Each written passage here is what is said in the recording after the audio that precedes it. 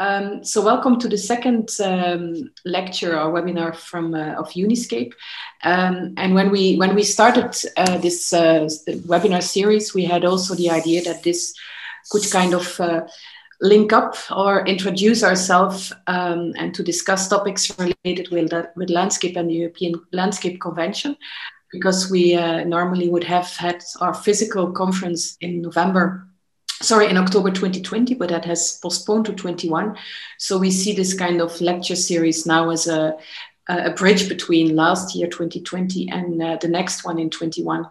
So every session is built up in, let's say, two parts. Uh, we first have a speaker that we um, that uh, well they they uh, were, they submitted an abstract uh, for this uh, for this uh, series, and so I think we have a very nice collection of uh, different speakers uh, today, Claire will give us uh, our uh, her talk, and then the second part is that we have a respondent, and that is uh, normally also someone that you would see with the camera, and that's Dr. Shabnam Inanloo Dailoo, and I hope I pronounce it well. That's voila. Um, and so she will respond on the on the talk and the paper that Claire is, uh, is presenting. And then afterwards, the floor is open to the audience. And then you, each of you can ask questions by uh, typing the questions in the chat or uh, putting on your microphone and your camera to make it um, a bit more lively so that we can uh, um, actively engage with each other and with the, the, talk of uh, Claire and the discussion or the respondents of uh, Shabnam. Now I also see that Tessa is back. So Tessa, I don't know if you want to add something. Yes, I'm back. Sorry for the, the glitch. And uh, just to give our warmest uh, welcome to all the attendants uh, from uh, Uniscape. I am Tessa Matteini. I am director of Uniscape. And uh, also a special thanks to Claire Nolan uh, for her lecture, to Shabnam Inanloo Dailoo, and I hope you will enjoy this uh, this lecture and uh, thank you very much. Okay, then I just uh, propose that we don't lose too much time. And Claire, I would suggest that you uh, start presenting and then we can uh, continue afterwards. Yeah, I agree. Yep. Okay, that sounds great. Uh, just, just before we start, I just, while I am talking about um, landscapes in in the UK today. I'm actually presenting from Canada. Um, so I'd just like to acknowledge that I'm presenting from uh, the traditional territories of the Haudenosaunee, um, Anishinaabeg, and the neutral First Nations, and um, to acknowledge their how they've shaped the meaning and character of the landscape that I live in. Which to to look at it superficially, you would say that there it's just deep suburbia here, but actually there is thousands of years of, of indigenous history beneath my feet.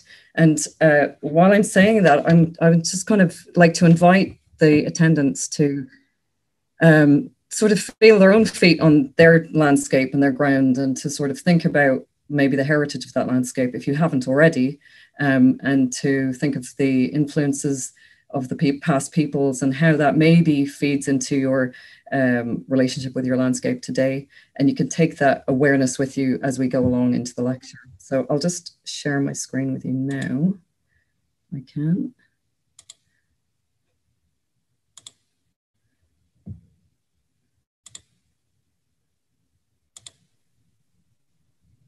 Okay. So yes, landscape is a common good. Um, so I um, I wanted to sort of talk first about landscape knowledge, which directly relates to what I've just spoken about in a way, because landscape knowledge is, uh, as is set out in the uh, European Landscape Convention, is one of the most fundamental parts of understanding and developing landscapes um, and taking care of them. And so, uh, a big part of that is the social value of landscape, understanding that part of landscape knowledge uh, to understand how we value landscape. And uh, so one of the, this has come up quite uh, in, in, a big way, really in the last 10 to 15 years, particularly in the last five years in, um, in terms of in the heritage sector, particularly in the UK, but also in other countries. And of course, all of this work is relevant to landscape everywhere. Um, so some of the texts I'll just uh, refer to quickly here that the reason I've brought these ones up, there's been a wealth of literature on heritage and well-being and landscape and well-being, um, historic environment and well-being. But these uh, these four texts sort of uh, bring together a lot of the work that's been done and, and sort of uh, summarize it and give you an overview. Um, and uh, one area, so one of the some of the work done by the Wellbeing and Historic Environment report from Historic England looked at the different ways and kind of had a stab at looking at how the different ways and routes that heritage or uh, the historic environment supports well-being. Um, volunteering, visiting sites, um, coming together around heritage as a common interest. So um, whether that be conservation work or uh, engaging in community archaeology um, or walks in, in historic landscapes.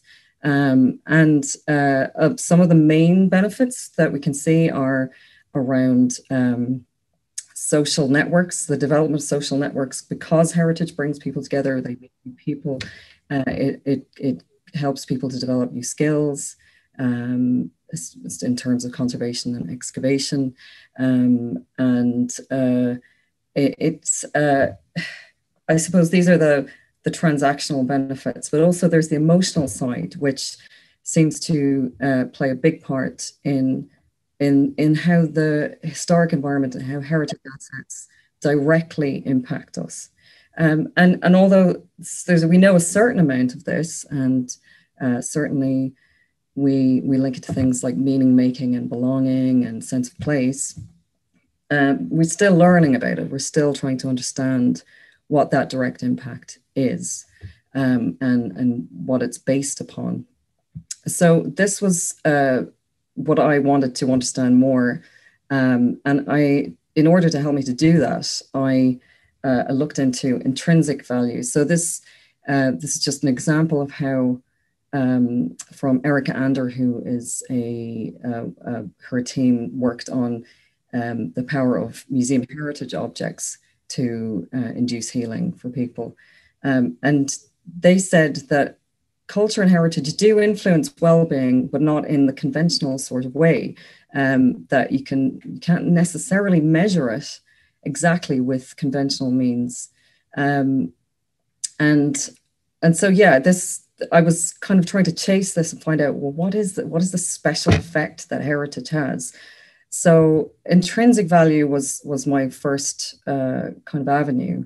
Um, and as you can see here, this is the definition that uh, Robert Hewison and John Holden, uh, heritage practitioners, use. And they talk about it being the kind of direct experience of heritage intellectually, emotionally, and spiritually. Um, and, and also you could add to this, uh, the number of scholars in the past few years, especially around the Cultural Value Project, uh, which was done in the UK a number of years ago, um, talk about the the kind of the felt meaning that comes with heritage. So you could, I argue, you could add in um, not only uh, intellectual, emotional, and spiritual, but also uh, the embodied felt sense and experience of heritage. Um, and I decided to apply this uh, through qualitative research to sites, uh, prehistoric sites uh, specifically in um, the southwest of England here, as you can see. Um, so the, I suppose the one everyone knows the best is Stonehenge, as you can see it here in the middle. Um, to the north of Stonehenge is um, the landscape of Avebury, and at the center of, well, the modern focal point of Avebury really is Avebury Henge, which you can see here on the right hand side. Um, and there's a village right inside the middle of it, so it's absolutely enormous. Um, uh, and to the left, we have Mardenhenge, which is roughly about equidistant between uh, Stonehenge and Avebury. Uh, again, these are just the focal points of larger landscapes.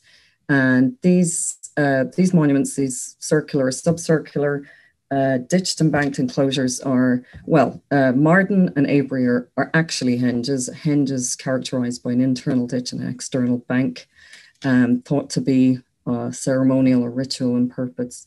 Um, Stonehenge is more like a prototype to a henge. Uh, other people can correct me on this, but it, it sort of lends its name to henge monuments. Anyway, moving on, they are not just the center, they are they're not the center of these landscapes in a sense. They because these landscapes are huge. If you can look at, um, you can make out Stonehenge in the middle of this map. Um, you can see that there are hundreds of monuments, all from different periods uh, within the prehistoric period. So uh, essentially, you're talking from the Mesolithic period around 8000 BC into all the way through the Neolithic, the Bronze Age, into the Iron Age, which starts around 800 BC and, and ends about 550 AD. Um, and uh, you can see some of these monuments here. So we have Durrington Walls, which is another henge enclosure on the left-hand side. Uh, we have the timber setting, circular timber setting at Woodhenge in the center, uh, a Bronze Age round barrow here on the right-hand side, um, which uh, may have been a burial uh, mound. In some cases, they don't contain burials. And uh, to the bottom left, we have Stonehenge and the avenue leading to Stonehenge.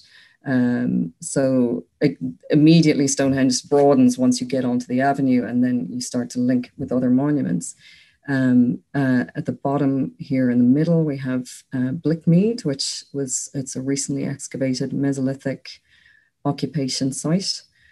Um, and uh, and then we have the uh, Greater Cursus in the Stonehenge landscape here, um, rectilinear, linear, ditched and banked uh, enclosure, which purpose uh, we're we're not too sure. I think there are lots of different understandings of it. Perhaps it's a boundary. Perhaps it's uh, to do with um, uh, marking uh, pathways in the landscape, earlier pathways.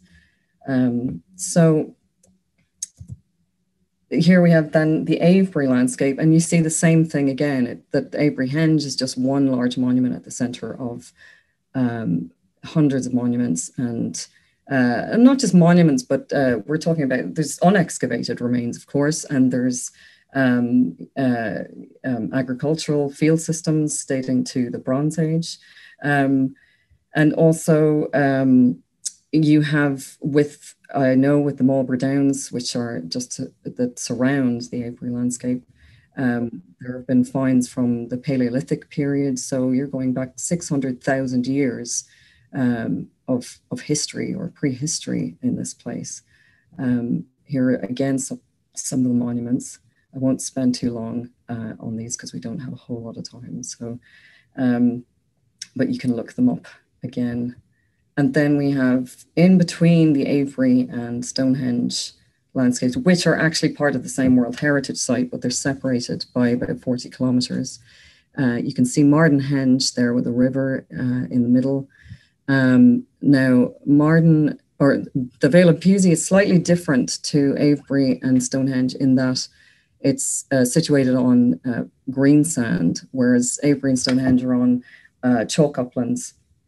So the survival for monuments on, on the uplands is much better. Um, monuments in the Vale of Pewsey didn't survive so well, um, the exception to that being Mardenhenge. Um, which even even at that is quite eroded anyway.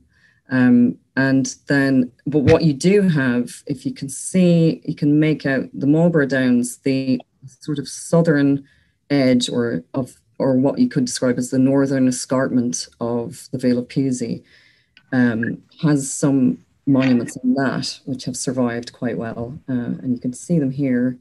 Um, you have Adam's Grave Long Barrow there on the on the top left, which is about, uh, I suppose, roughly dates to about 3600 BC. And then we have some Iron Age monuments uh, on the bottom here. Um, oh, uh, on the left of the Giant's Grave, which is an Iron Age promontory fort. Um, and then actually to the right is, is a Neolithic monument, uh, Hill Causeway enclosure, which was a circular enclosure uh, possibly gathering place and a ritual site as well. So you can, if I go back, you can sort of imagine I'm trying to give you the best picture I can without bringing you to this place. That uh, as you wander around this area, if you drive through the landscape, there are monuments everywhere. There are reminders of heritage everywhere, and not just prehistoric heritage.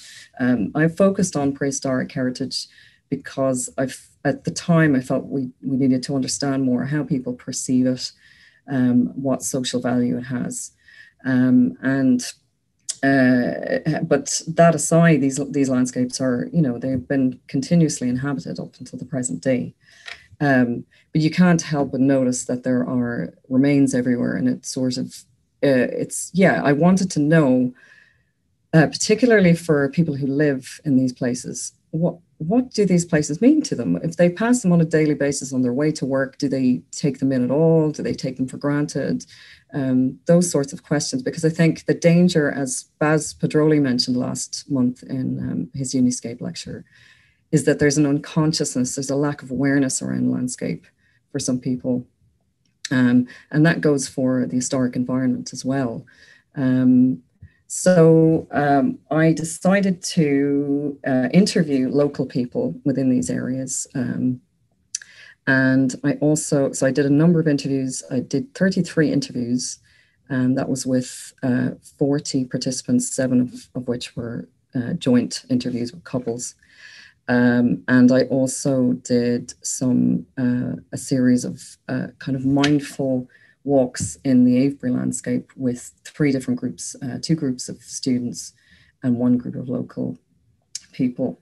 Um, and uh, part of I suppose this is really where, as we're talking about where the disciplines meet within landscape, this is where the disciplines met within this project uh, because I drew a lot on the phenomenological um, theory and practice from not only landscape phenomenology, which is used was used in archaeology to think differently about prehistoric monuments. Uh, and that's really about getting a feel for the landscape, of noticing the relationship between monuments, between different parts of the landscape with the monuments, um, but also drew on uh, phenomenological practice in um, uh, non-representational uh, theory, which is uh, comes from human geography, um, and also mindfulness-based cognitive therapy from psychology. And I also used um, experiential psychotherapy, so focusing oriented psychotherapy. Uh, and all of that really boils down to looking at people's lived experience. Uh, so, not only including their intellectual uh, perception of places, the visual, but also their felt experience, and really looking at how these places impact people personally. Um, in the case of uh, local people, was looking at their everyday experience of, of these monuments and, and the archaeology in the area. But uh, then taking with the groups, um, two of those groups were were not local to the area; they were visitors, um, and uh, one was local. But was to look at their physical experience as well, uh, well, all of it, but really getting them to be immersed in the landscape um, and to to just really focus on the archaeology itself uh, and and their what how they responded to it. Um, so some of the methods that I, I used for that were um, it, prior to the interviews, I invited um, uh, participants to keep some form of reflective account about the place that they live in, whether that was photographic or written. Um, it could have been pictorial. People could do whatever they wanted. Um, so some people did did do that. Um, this would have been these. If you look here on the left, sorry, the top um, piece of writing here and, and the bit on the left. These were some of the ideas that I, I sent to people in preparation. Uh, really, I wanted their personal experience, but I, I, I thought that in case people, uh, because I was dealing with a range of different people from uh, different backgrounds and different educational backgrounds, uh, I thought it might be better to have some prompts just in case to give people some ideas about maybe what they could uh, focus on for their reflective account.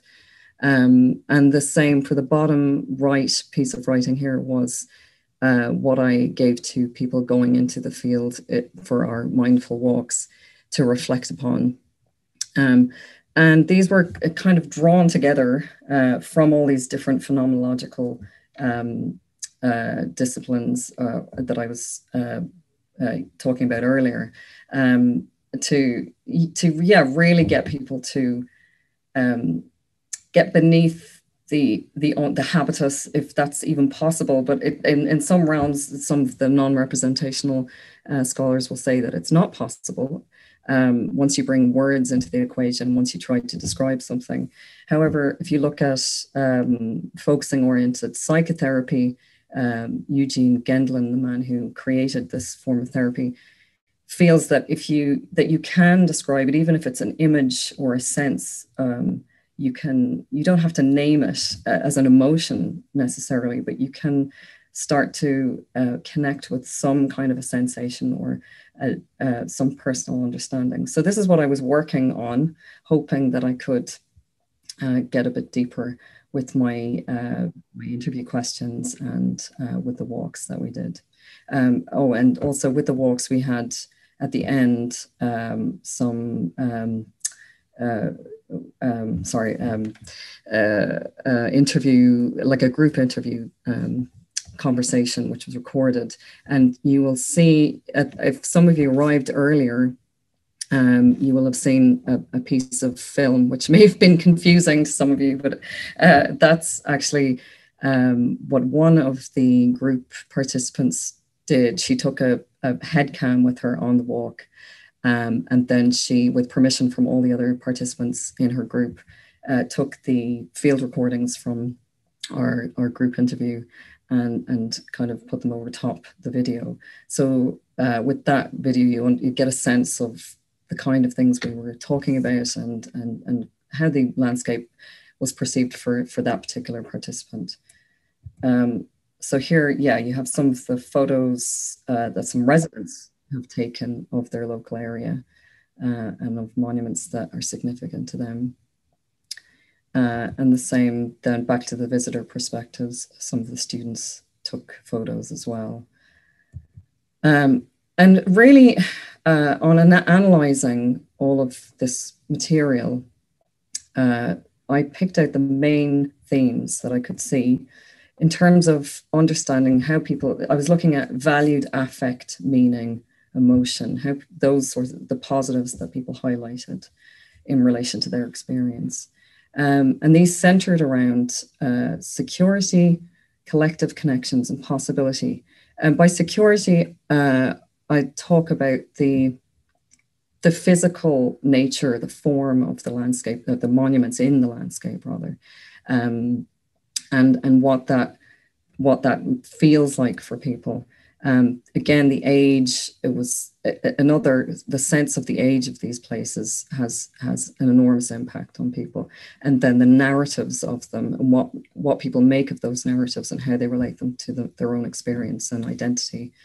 Um, with collective connections, um, really was the connectivity people felt with past people, with um, the, the very much humankind. Humanity was a kind of um, a big focus people didn't uh, talk about. When I, I, put in here ancestral reverence, uh, and I don't mean direct ancestry here. I mean, and I don't mean this connection, not in an in indigenous way, but more connection with past people, um, and really this feeling part of something greater than than oneself.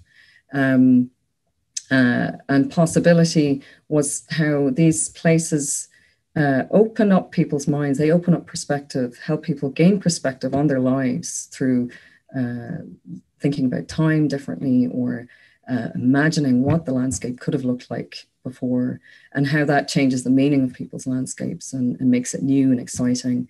Um, but one of the biggest areas of uh, here, uh, biggest themes was how people use these places as as spaces to contemplate problems, to get away from their crazy modern lives and to think about think out problems to people went there when they had bereavements um, difficult life issues and and for many of them it helped them to manage these these uh, difficult emotions and to get through difficult times so i'll just go into some of the uh, um, the quotes that people um, that I've taken from the interviews and um, the group interviews as well.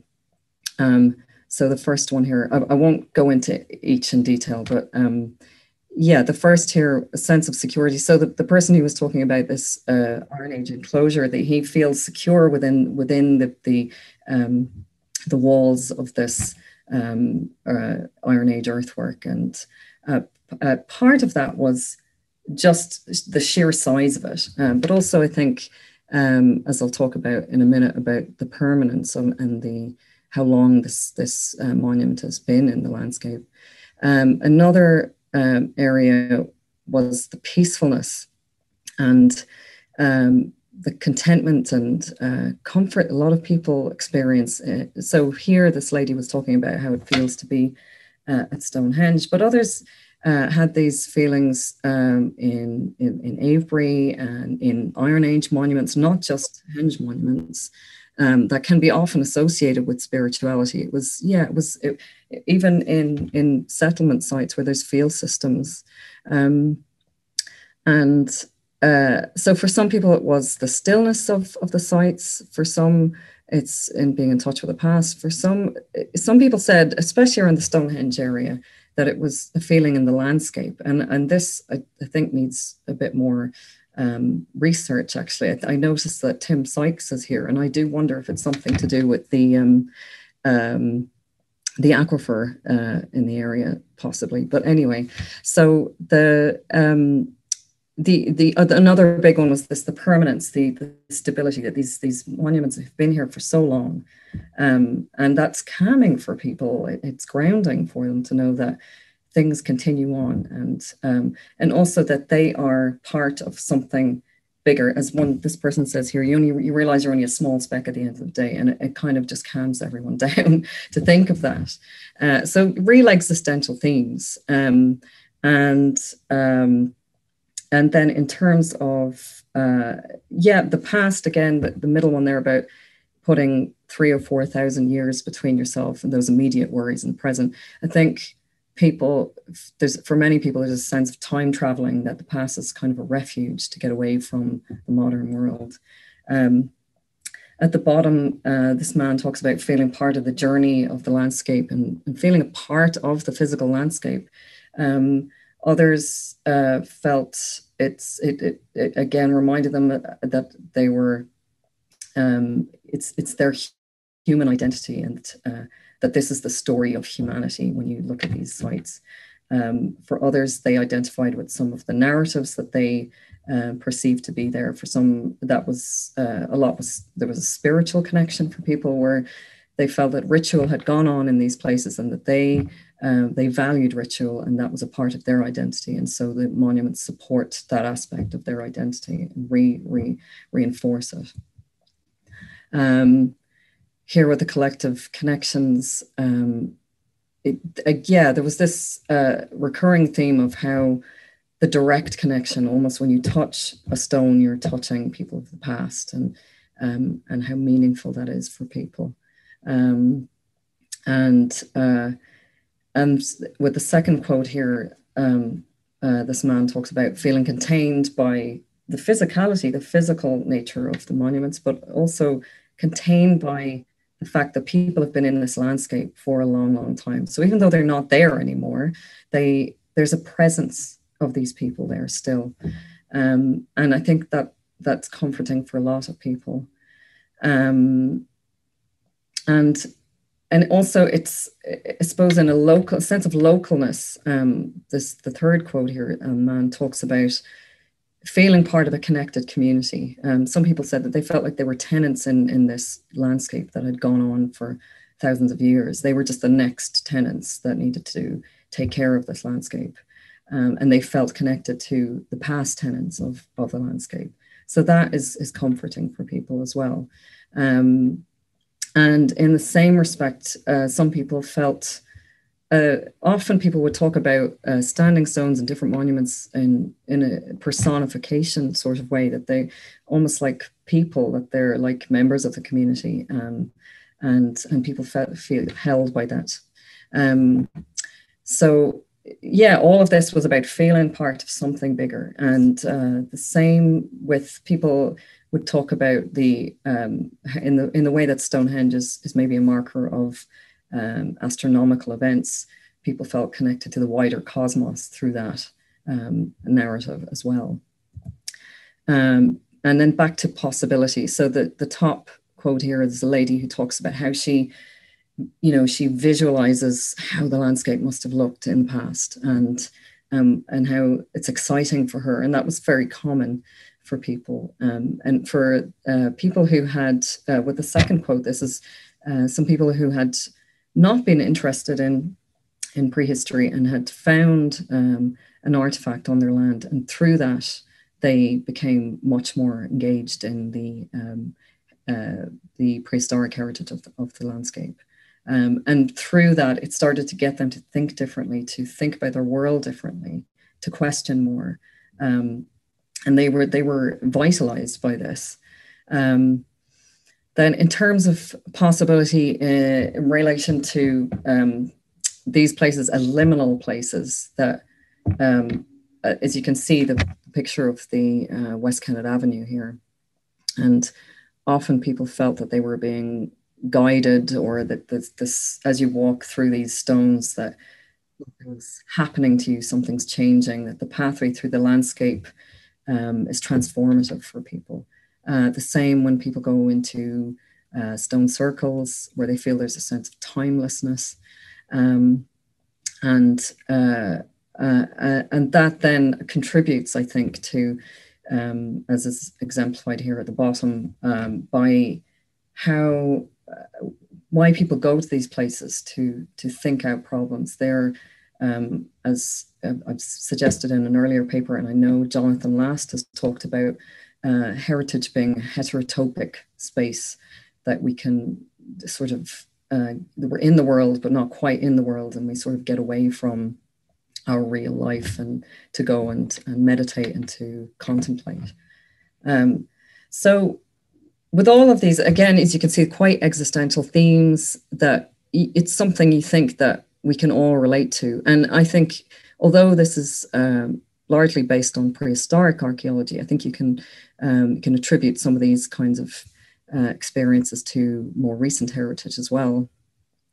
Um, but yeah, you would think that this contributes to a common good, or at least the, it has the potential to contribute to a common good. Um, however, there were contrasting views as well, and um, some not so not so harsh. The, the first one here, actually, this is probably the only person in the whole 66 people that I spoke to who really just wasn't interested in heritage um, and old stuff. Um, and she said she she later contradicted slightly kind of said yeah i'm interested in what what's that lump in the field beside me but she really wasn't that bothered and so we didn't get a deeper experience from our conversation so much um, for some people particularly with uh, because it's it's so difficult to see and it's uh, so eroded um, people don't really and because it's so large people don't actually know what they're standing inside of and they they kind of take it for granted and it's not that dramatic in comparison to say Stonehenge. So um, uh, yeah, people. There's some people. Who, I mean, at the same time, all of these people who who picked out negative aspects of the of the archaeology, um, except the lady at the, at the beginning, uh, all had positive experiences from monuments as well. Um, but uh, just I'll come back to that in a minute. Um, the, the one I wanted to highlight here is really, as we all know, that Stonehenge is quite a contested landscape. Um, and some people I spoke to just said that really the, the tourism and the traffic and everything that had built up around uh, Stonehenge had just soured their view of it and their relationship to it to the degree that they don't even bother to go go there anymore. Um, for, and for one man here, he said that just the sound of the traffic that uh, it creates it actually makes them depressed and so there's a kind of a, a trade-off here because you're thinking hang on a minute on one level uh, this this uh, the historic environment is uh, contributes to well-being but there are times when it doesn't and when it's actually negatively impacting people um, and and i think that's a very difficult balance uh, there's a difficult place to be in um, because uh, uh, yeah, some people felt that they were just uh, um, kind of that they Stonehenge didn't belong to them anymore, and they were dispossessed, and um, and it's a shame when we've gotten to that stage. Um, so um, yeah, so but however, a lot of these uh, feelings were yeah they were conflicted. I think that's the main thing. It's uh, the, if you look at the bottom quote here, this lady says it's not Stonehenge itself that's negative. It's just the things that have been done in its name, and uh, and that's something that we really need to reflect upon and think about that how we manage our sites and and, and uh, how people how we communicate them to the public. Um, but uh, if I come back to the top here, so the lady who said this had said earlier, oh, not really that bothered about monuments in my area. And yet, the, the more we talked, it seemed that actually she she found uh, it kind of they being around, we'll say the um, monuments at Avebury helped her to reflect on her mortality and to think about, well, we're only here for a short time, and gosh, you know, uh, we better make the most of it. And that is that feeds into that idea of possibility that, um, you know, that it, it gives us perspective on our lives that so that we can move forward with purpose and we can do new things. Um, and with the second uh, quote here, this lady again, she was actually the woman who talked about. Uh, she has a monument on her land that's uh, been quite restrictive in terms of being able to farm it, uh, to the degree that it has really, really upset her. But at the same time, she respects this uh, piece of land. Well, she says she doesn't see it as a piece of land anymore. She sees it as special, and it's. She says it's beholden to her to keep it special, um, and and that suggests that there's there's a there's something else. There's some other positive impact happening, and I, I think again uh, what what Bas mentioned last month about how um, how landscape impacts us uh, unconsciously.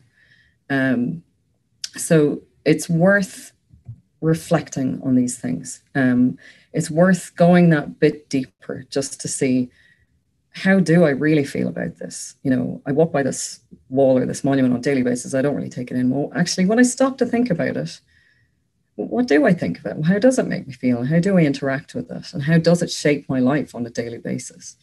Um, so you can see here some of the comments on how the exercises I did with people uh, did have value because it made them have those thoughts for the first time. For some people, the first time they ever thought these things.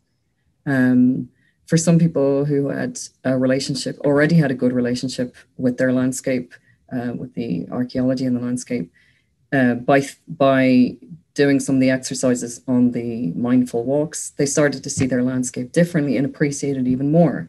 Um, that was actually quite a common one. A number of participants came back to me later on and said, thank you, because it's really helped me value my landscape even more and, uh, you know, and enjoy it even more.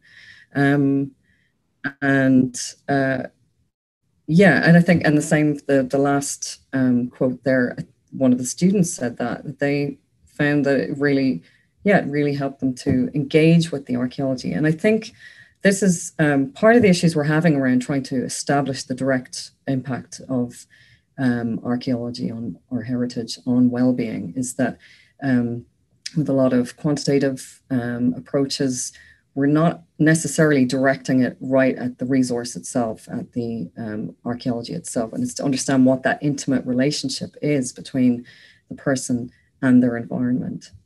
Um, so just to sort of contextualize this a little bit. Um, so, uh, landscape philosopher Laura Menatti has uh, suggested that a common philosophical ground is required for the definition of landscape, an interdisciplinary and integrative discussion able to take into account the differences of the subjects living in the landscape.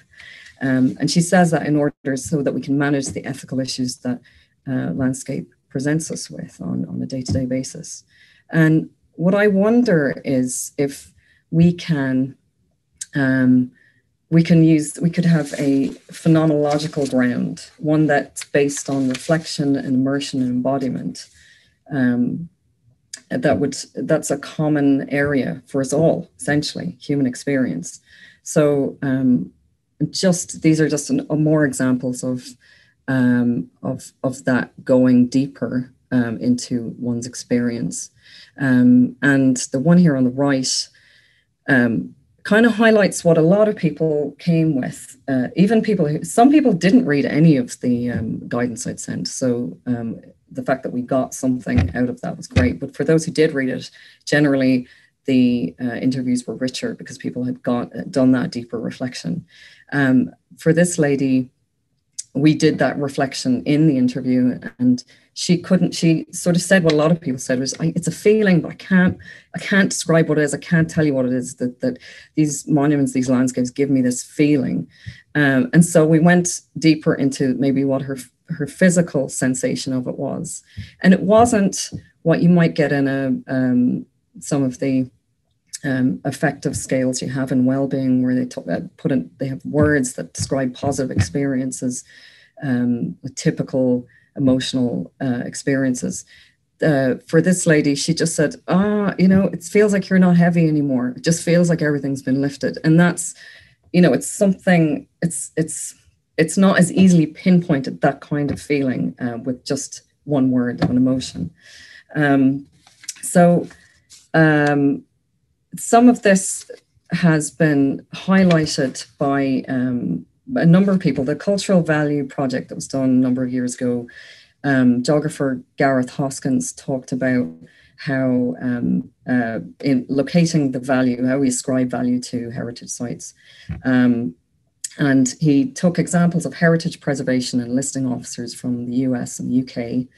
Um, and, and they explained how being at the sites, physically going to the sites, has a big impact on how they ascribe value to these places. It changes how they assess these sites. Um, and Hoskins emphasized how important this is and that we need to build in this more ph- phenomenological approach to, um, to listing and, and preservation. Um, another example is um, anthropologists Chelsea Armstrong and Eugene Anderson from Canada, and they did work on landscapes um, in British Columbia on Gitxsan First Nations landscapes where they uh, they were assessing landscape in advance of a pipeline and uh, they needed to gather more information. Some sites had been missed actually in the original assessment. Um, and they went out with people from the, the indigenous people of this landscape, um, went out on their daily, what these people would normally do in terms of um, harvesting, hunting. Um, and while they were out there, they talked about the archaeology together and it gave uh, not just the indigenous people, but also the uh, the archaeologists themselves, and a, a, greater appreciation of the relationship between the archaeology and the landscape. Um, so I think these approaches are a fundamental part of developing landscape knowledge of placemaking and the well-being that they create. Um, and um, just looking at the work of uh, another anthropologist Jay Johnson from um, the United States. He, he quotes the work of geographer Peirce Lewis, and he refers to the idea that our landscape is our unwitting autobiography and suggests that if this is the case, we would benefit from being more curious about our surroundings. Uh, Johnson suggests that placemaking um, is a common response to common curiosities like what happened here, who was involved, what was it like, why should it matter? Um, and and this is kind of relating back to what I've been talking about in in my project that you know I feel it's not just about educating people about heritage and landscape, um, but it's it's about um, cultivating a deeper form of engagement that includes mindful and embodied approaches to cultural heritage man- management and landscape management in general.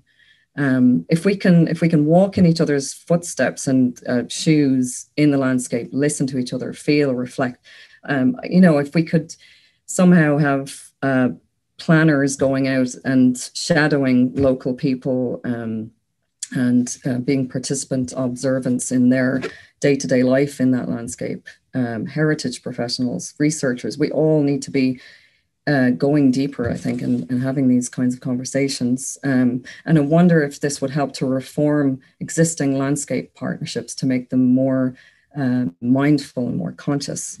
Um, and this might help us to appreciate the multidimensional nature of landscape and to um, to use um, different disciplines to to to maximize the potential of our landscape. Um, so I suppose just to sum up, um, really, um, in order to develop our understanding of social value of landscape, we need to create the space and opportunity for people to reflect more deeply on their historic environment, both recent and the longer histories of that landscape.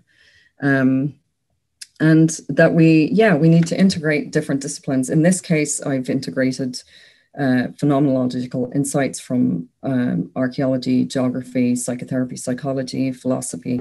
Um, and I feel that this has helped to understand the potential of this landscape more, how it can be for the common good. Um, so that's kind of, I'll stop there for now. I hope I haven't gone on for too long and I'll um, hand over to Shabnam. Um, uh, if I can get it out of this. Thank you, Claire, for this uh, wonderful talk and insights that you give. And um, I don't know if someone introduced uh, Shabnam already. Are you there, Shabnam? I see your. Uh, yes, there you are. Good. Yes, I'm here. Um, so, as I uh, explained in the beginning, every session there is a respondent, and tonight we are very happy to um, to have Shabnam uh, Inalou uh, in our uh, group. Uh, she's the chair of the Center of Interdisciplinary Study, Studies in Ach, Athabasca University. Is that right in Canada? Athabasca. Athabasca. Okay, that's uh, and um, I think as I told you in the beginning, it's very nice that we uh, kind of uh, uh, have you as a guest here outside outside the European network, although Claire is physically in, in Canada. Uh, but we are looking forward also to your uh, insights and your um, reflections on what Claire told us. So, uh, floor is yours. Thank you so much, Verly, and uh, thank you, Claire, Tessa, uh, Tommaso, and also I would like to mention Connor for, for the invitation. And it, it's a pleasure to be here actually today. Um, so I'm participating from Edmonton, Alberta, in Western Canada. So I live and work on the traditional lands of Indigenous peoples, the traditional land of Treaty 6 peoples here, and also the Region 4 of the Métis Nation of Alberta. And I, I truly honor the ancestral heritage and gifts of the Indigenous people and give thanks to them. Um, like it's it's just so interesting and i should actually uh, add here that since we are meeting online and it's such a broad regional scope here i would also lo- like to acknowledge all the traditional lands and territories that we are reaching out uh, and you know in looking forward in like in the spirit of conciliation and collaboration and I, I, truly appreciate your presentation claire because it resonated with me of course you know being in the field you know my interest in the cultural landscape and also like my ongoing research uh, like in canada about cultural landscapes where people and places meet. And um, when, when you were talking i was reminded basically uh, of three of my experiences and i'm happy that i picked those three experiences. I don't know if i can share a screen here. I have the images of can i can i? Okay that would be useful. Thank you. Uh, let's see if i can share it here quickly. Can you see this image? Okay perfect. So i was reminded of my uh, visit to this place uh, two decades ago basically uh, it's an archaeological site in Iran, a sacred Zoroastrian fire temple called Takht Suleiman, which literally means the throne of Solomon. Uh, the site has a strong symbolic and spiritual uh, significance, and I felt a strong connection to this landscape when I was there. And also, as a personal note, my grandfather is from this region, uh, but I had never visited this place before that time, almost 25 years ago. So uh, when um, the moment I reached the summit of that volcano, um, you know, in the background, which is 100 meter above the surrounding landscape, I felt even a stronger sense of belonging that has stayed with me ever since. So that's that's an incredible experience. And I should say I had a similar experience when I first visited Head Smashed in Buffalo Jump in Alberta, again in Western Canada a few years after that visit. The Buffalo Jump consists of a vast landscape and a cliff, a natural feature that has cultural significance to the indigenous peoples of the area, that's Blackfoot people. Being on the edge of this cliff that you can see here, it's a jagged escarpment uh, of the sandstone bedrock along the flanks of this hill, uh, Porcupine Hill. I really felt the connection of the people to this land, to the plains landscape here. So this sense of place was amazing. And I was reminded of my other visit so later on, and through my conversations with, with elders, informants, and also through stories and my own research, I learned more and more about the connection between people and places, the associations, you know, with regard to this landscape, which is really critical and part of well-being of the local communities, the First Nation peoples here for centuries, if not millennia. And of course, this culture nature interrelationship is not unique to Canada from, from an Indigenous perspective. Uh, for example, uh, in the heart of the Central Australian desert, there is a majestic red sandstone formation on a land by Anangu people, the, the community, indigenous communities uh, there. So the Uluru Kata Tjuta uh, Park, National Park, is not only uh, famous for its geo geological formation, but also because of the extraordinary indigenous culture, the traditional law, stories, and spirituality. So when I was taking the base walk around the, the hill, I welcomed the invitation that asked visitors to, and I quote here, let the knowledge you hear come through your ears, into your mind, and settle into your heart because as Anangu people say, life lives in the land and the people. So honestly, the walk around the rock has been quite an unforgettable experience for me that has let me connect with the land and also learn about the stories. So no matter if, if the walk was like, you know, uh, a mindful walk as a guided tour of the place, like this case in Uluru, or uh, you know the, the medicine walks for indigenous peoples in canada or non-guided walk as i took it at uh, uh, Suleiman, they all serve the same purpose engaging people with the landscape and making them feel better feel being part of this place so maybe i can stop sharing here yes um, so um, three historic environments three different landscapes three different parts of the world. Um, you know, um, each landscape manifests diverse yet similar associations with the land, either tangibly or intangibly, and diverse yet connected cultural practices. So that kept me wondering about your topic, uh, Claire, that uh, okay, there are differences, but there are so commonalities here that we can really reflect on. And based on these experiences, now I'm convinced of the, the impact of the land and the landscape, even without knowing the stories and people. And what if you know the background information? What if you relate to the local communities? Um, so um, I think that I can relive those experiences even without being there personally, but those feelings has stayed with me ever since.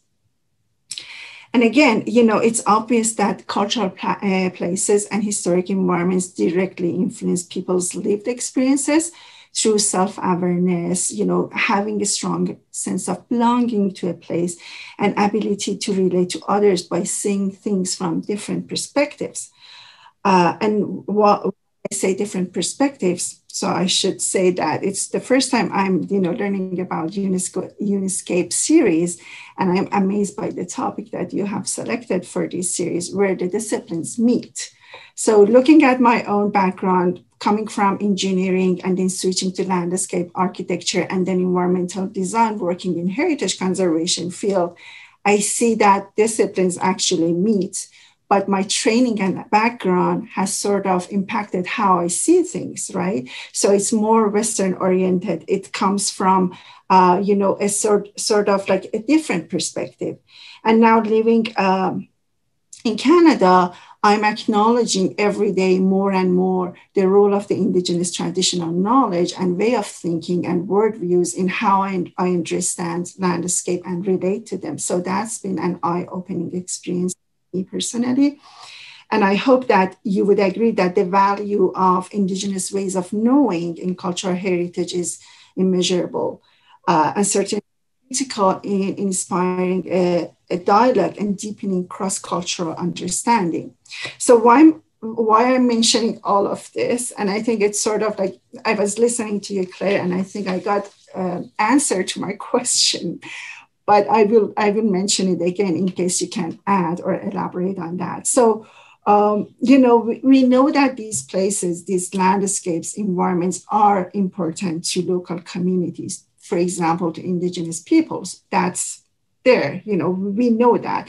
But um, I mean, if you can tell us, you know, you you actually talked about it, like visitors' perspective, like people who are guests on the land and people who are just coming to this place for a visit, they might come back or not how we can, you know, we can make that feeling experience long lasting and a practice that we can continue in other places. Um, I mean, how we can make it more pronounced in a way and, you know, consciously doing this without, the, if you ask, for example, a visitor to a place and say, what are your feelings? They would focus on that, but maybe mm. Not thinking in that line. So like, I guess if you can collaborate, uh, elaborate, you know, how different cultures coming to a place think about that like uh, like in a sustainable way if it's the right way mm. so i hope i i made sense I'll, I'll try. I mean, uh, I think a certain amount of this is happening. Uh, I know at uh, the National, uh, sorry, in Stonehenge, um, the National Trust take visitors out on on walks in the landscape. And and they are they have an experiential element to them. And i've met people who've before and after sort of um, they beforehand didn't really think much of stonehenge um, just pile of stones in a field uh, or or the, it had been hyped you know overhyped. Um, and then following this walk which was with an archaeologist um, they they they had a much greater um, I suppose, sense of reverence and respect for it. Actually, afterwards, they did start to feel um, the landscape as such. Um, and uh, there's also been some work done a long, long time ago. I think there's bits and pieces. I can't. I think the name of the um, uh, the scholar was is Moscardo is the um, the second name. Somebody else might be to illuminate. Um, but she uh, looks at. Uh, she calls mindful visitors and the way to do this is to change how we signpost people around heritage sites um, to make it more fluid, but also to, um, to it, I think it really it stems up getting people to ask questions of themselves. So it's not about just giving information about sites. It's about um, asking people, well, what do you think about that, and what does and what does this feel like for you? And you know, even if that's just on a um, an exhibition or something, um, that it's just that slight nudge to get people to to focus inwardly for even for a few minutes or for a few seconds just to um, and also the work sorry i neglected to say emma waterton who's a heritage researcher has done a lot of work on on this as well um, she's actually the she's really the um, the authority in this area. And she she's actually based in Australia now and works with uh, Uluru as well. Um, but she did work in um, northern England in a site called the Potteries, um, which is a, a, kind of a I think it was a working class area where it, literally they made uh, ceramics and ceramic factories. And uh, she's interviewed people in a more in depth kind of way um, at these uh, sites and given them um, qualitative questionnaires where they get to elaborate more on their experience. And that um, I, I think she's gives a good, yeah, but it's back to that reflection and questioning. And if there's any way we can do that, um, or immersing people in landscapes, if that's possible, um, then I think that's a step in the right direction. Excellent. Thank you so much. And I, should say that I, I really uh, appreciate your presentation and the details because we, we it's happening and they are all there but having evidence that others also think because we are so much involved in the heritage field that you know it's part of our dna these days but knowing that others also have the same connection and the connectedness feeling is also very much appreciated so i don't know i'm just mindful of time so i'll stop there I, I think questions are coming in for you claire yes uh, thank you um, thank you Indeed, uh, I would like to ask uh, particip participants if you have any questions for the two, or comments or reflections or similarities with your work. So you can um, just uh, raise your hand in a way. I know that you can do it in Zoom. I don't remember how, but uh, or type a question in the um, uh, in the in the chat. Uh, Connor, you have something perspective and Pathos, you want to explain? Yeah, could I come in here and first of all to say I'm so happy being able to be there to introduce you both, but uh, my thanks to Virla for stepping in. Um, I'm always interested, I think, in this question of perspective and pathos. Mm. In a mm-hmm. sense, the question of scale and the association between scale and servicing one's existential well-being that somehow or other, as you've mentioned a couple of times, the experiences of different people you've brought around, that maybe they're stepping into an unfamiliar landscape and the unfamiliarity of it, the scale of it, both in terms of its uh, physical size, its spatial scale, and its temporal scale, are mm-hmm. beyond comprehension, immediate comprehension. And so, in a way, they they transport you outside your normal paths of thinking. Um, and perhaps when they're brought around by somebody like you, there's always going to be that anticipation anyway. But mm-hmm. uh, I'm interested in the manner in which uh, scale and the ch- altered perspective it creates has a way of reminding us of our common human uh, pathos.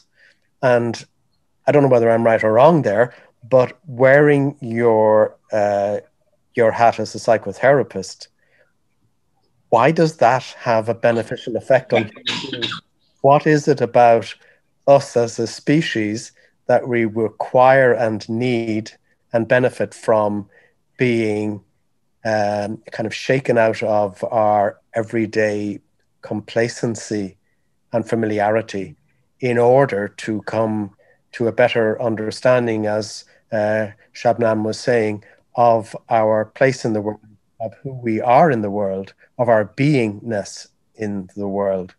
Um, mm-hmm. So, from the point of view of kind of psychotherapy, I agree entirely with Shabnam's comment that wouldn't it be great if we could do this always? That there's a line in a song by Van Morrison. He says this, you know, uh, he, ends a song by saying, you know, it would be great if it was always like this. So somehow or other, that level of awareness, is there a way that we can achieve that? So there's two parts to that question. One is what's going on in the human psyche that requires this? And how do you think we can move from these exceptional experiences into turning them into more everyday experiences? very easy questions. you don't you don't you don't uh, beat around the bush, Connor. uh, I I think with the first, um, I mean, really looking at from a existential psychotherapy point of view, I think it's a it's it's this need to not feel alone in the universe, kind of, um, and um, I think it's a spiritual thing, and by I'm not being denominational about that either. I think we we all crave something, you know, deeper, um, some deep connection, and a lot of people that I spoke to talked about that. This connection to our origins that people um, they really get a um, you know sense of grounding from that. This co- continuity and connection, and it's almost like it's uh, a connection to the the source or to the you know, to the bigger question of what's it all about. I think it's on some level we feel maybe it can it can bring us closer to answering what that question is. I, I'm not, I don't know for sure. This is just a personal kind of assessment, really, of of what I do know. Um, but um, and in, in terms of how we can bring that into our daily lives, I mean, you you know, all you have to do is go to a mindfulness class to to uh, to find that out. Uh, that you can you can we can live more mindfully in our day-to-day lives even if it's just being aware of how we're brushing our teeth in the mirror you know um, but in terms of how that relates to um, archaeology and the historic environment i think uh, like one example for me is as I, I, refer- I said earlier that I live in a very, very suburban place. And if you didn't know anything about the heritage here, you would just think it's supermarkets and um, housing estates for miles and that there was no deeper meaning to to it at all. Yet when you you learn that actually there are indigenous longhouse villages well they were excavated just a few meters away from here um, that the road outside my door which now a motorway is actually an, an old mohawk trail um, immediately uh, I become more mindful and more connected to my environment and, and appreciate it more and want to know more about it actually. Um, so I think that's that's really like you've hit the nail on the head. I think it's the size of these places and the, the size of time in terms of uh, deep time and temporality. But I think um, you know archaeology and historic environments can be uh, act like a mnemonic to remind us to think think about these things in, in greater depth and to, and yeah just to remember them. Even if we can't do it all the time at least when we look out and see whatever ancient or old architecture we can it can trigger us back into that bigger awareness again. So um, yeah i don't know if that's answered your question but that's my suggestion anyway. Thank you claire. Okay thank you. Um, there is someone with a very long uh, comment, but I think the first one in the chat is uh, Margherita. Uh, you had a question regarding the roles of walks. Yes. Hello. Yes. Hi. Thank you, thank you, Claire, for for very inspiring uh, talk. Um, I so I, am I really liked um, the whole of it, but also I, I picked some. Um, some elements that uh, nicely connect your experience, your research to the speech I, will have to deliver next month on uh, on the role of the relationship between landscape and um, mobility. So my question is, I'm sorry, I'm looking up because I have another screen now. I'm trying to move the the window in, on the screen below because it looks quite weird. Otherwise okay now i'm talking to you directly.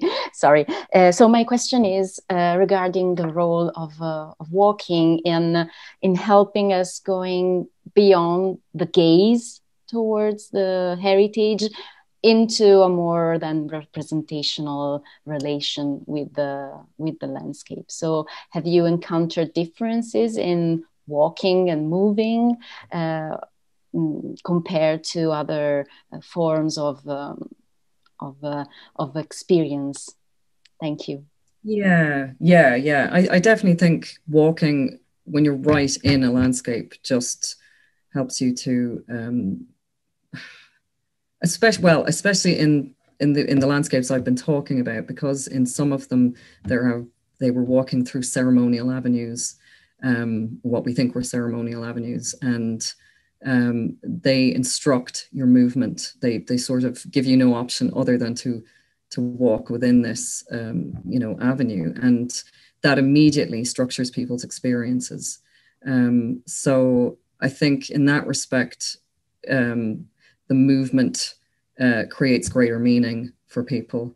Um, in terms of uh, different landscapes, I mean, every landscape is a cultural landscape essentially, um, because uh, we've interfered with in some way or another. But uh, I, I, think for that, for the for that was for the let's say the um, uh, for Avebury or Stonehenge, it, they are exceptional in that way. Um, other heritage landscapes, you wouldn't necessarily have pathways marked out in that kind of way. Um, Uh, so you probably wouldn't get the same depth of or the same impact. But I, I imagine it's the same for for different time periods, and you know even just uh, walking along field boundaries, um, things like that. That a Roman road, whatever it is, that it's it's going to affect people. Um, so yeah, I don't know. Is that is that really answered your question or? Oh yes, yes. It's I just wanted more more examples like you you you did, and maybe uh, we could consider walking into the heritage as a uh, as a way to answer your, your final questions and how can we uh, make heritage interpretation more uh, mindful. Okay. The, the challenge is uh, how to do that uh, where the conditions are different.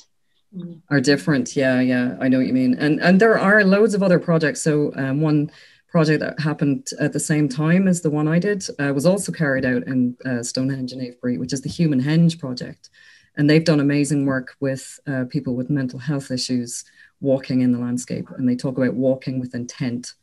Um, so that it might be worth your while looking at there's they've quite a lot of um, publications out as well. Um, uh, I think actually there might be other, there's a book that I referenced earlier called Mental Wellbeing in Historic Landscapes, which has a lot of the Human Henge work in there, but also has work from other projects. And I think there may be um, something that could help there in relation to different time periods. Yeah. Yeah, um, I think the reference you are mentioning now, Claire, is on the website of Uniscape because you have the bibliography and it's in there. That's so right. Yeah. You can, uh, can look them up. So um, uh, thank you, Margherita, also for not only for the question, but in this way you introduced yourself in a way already because you're the speaker for the next uh, session, which is nice to have you here already. thank you. And then I think there is one last uh, question from uh, Cassandra. I don't know if you're still there. Um, it's also a very long one, so maybe you can um, um, yeah, just uh, put on your microphone and, and tell it that's easier to understand. Yes, um, can I'm here. Can you hear me? Yes. Okay, welcome. Um, I did. I thought that was really interesting. Um, the idea of walking in the landscape, and I'm um, at the beginning of a PhD research project on the caretakers of uh, historic gardens. And uh, I have a personal connection as well because my partner is the curator of a botanical garden.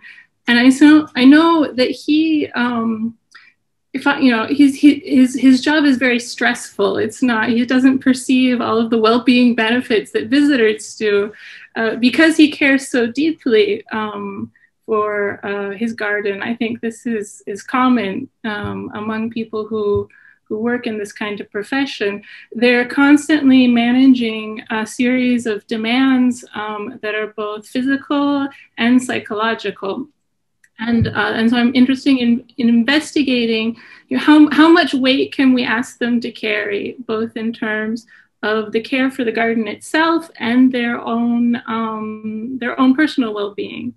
Um, and mm-hmm. so uh, I was wondering, you know, one of the comments that you mentioned got into that a little bit with the woman who had a special piece of land. And I was wondering if you had other insight on uh, people who aren't visiting but who are managing these spaces.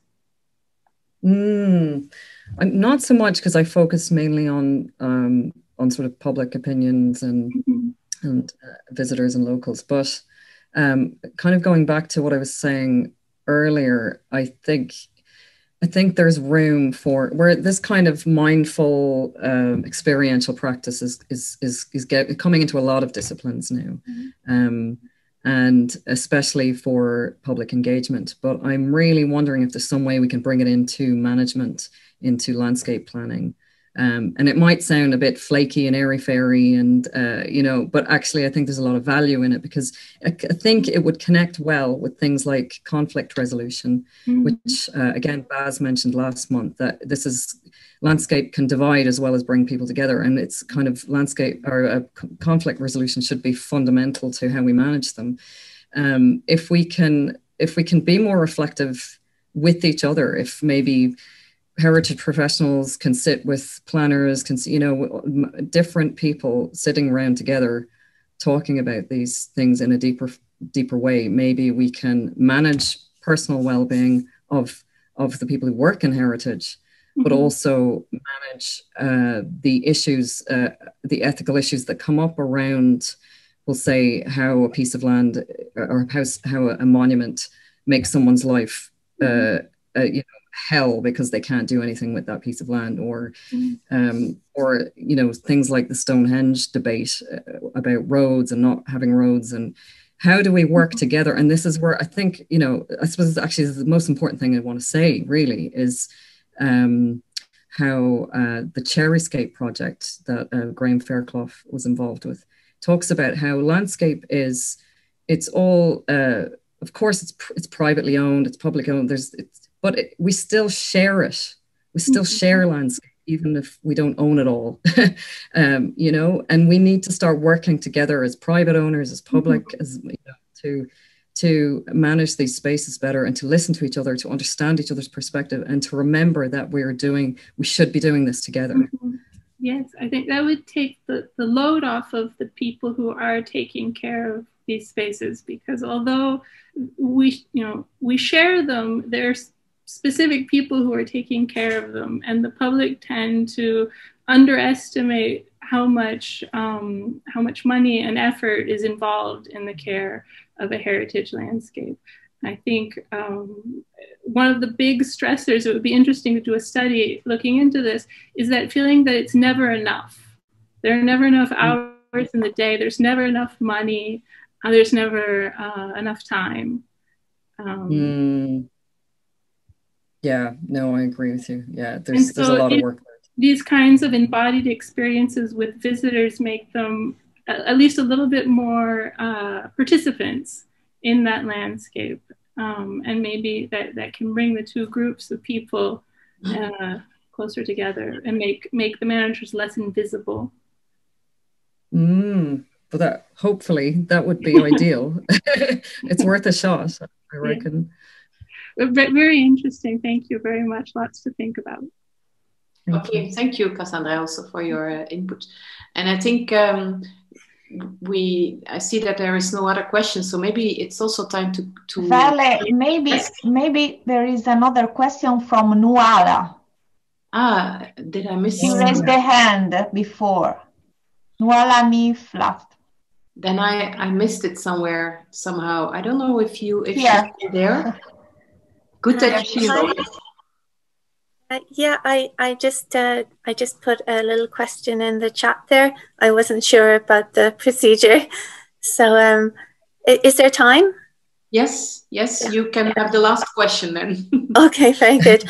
Uh, yeah, this is really just following on from Cassandra's question. And um, yeah, thank you for a really interesting talk, Claire. Uh, yeah, I'm, I'm just kind of interested. My, my research is based in in the Gaeltacht, and I'm I'm looking at uh, how um, narratives about the Gaeltacht impact uh, visual art that comes out of the area. Um, mm. One of the things I was looking at is this idea of timelessness. So this kind of constructive, constructed narrative of an area that is timeless or somehow out of time. And so tourists, when they come to a to a heritage site or a heritage area, expect you know this is this is what they expect and this is what they want to experience to a huge degree mm.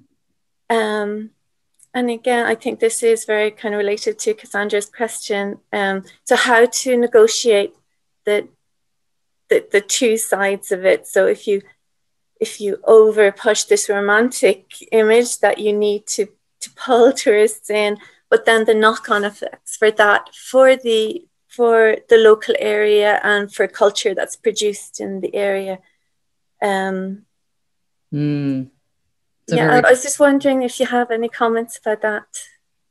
Ooh, yeah, no, that's a brilliant question because I think as well um, the narrative that we've created with heritage sites it's already well established now in you know in our kind of cultural consciousness and um, so to change that is an even bigger challenge. Um, uh, I think again going back to the idea of questioning and and sort of neutral questioning. Now I tried, and you know I'll be honest, my my um, methodology was ex- experimental and certainly could be done a whole lot better if somebody came along did it again i'm sure it could be improved but it was um, a stab at trying to ask neutral questions about experience and um, to get to kind of get beneath the intellectual understanding of a place in in terms of what people come with in in terms of their heritage consciousness their existing common knowledge of something.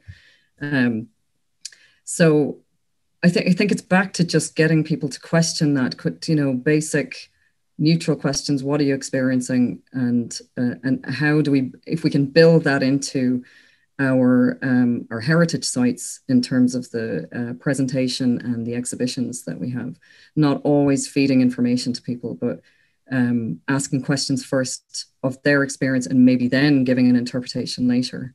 Um, but I did notice, so when I brought people to um, Avebury, I didn't talk about any, I didn't interpret it unless people asked me questions about specific things, about dates of certain things. I didn't go into any kind of grand narrative about the site. I just left it to the participants to experience it.